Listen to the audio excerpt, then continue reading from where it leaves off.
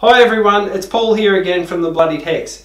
Today I'll be explaining another ability for the board game Hoplomachus. The ability I'll be explaining today is Toss.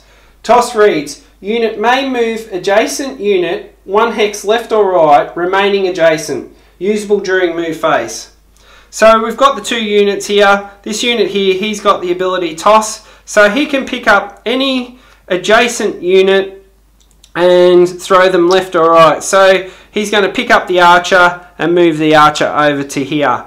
So um, where people can go wrong with toss is they think it's only for friendly units, but that's untrue. You can actually have um, he can actually pick up opposing units, opposing um, gladiators. So just say if he wanted to get the centurion away from the archer here, he can pick up the centurion and move the centurion to here, and then he's put some distance between the uh, archer and the centurion. Also, if you've been picked up, just one extra thing, if he's picked up the archer, and he used his ability toss on the archer. The archer can still move once once they've uh, been tossed from side to side. So I know there's a um, there's another um, skill in the game, propel. Once you've been propelled, um, you can't move after that. But with toss, he can he can pick up the archer, move the archer to here. Now it's the archer's go. She's got one movement, so she could actually move to there. So it's a good, um, it's a great ability to get some um, distance between some units if you were worried about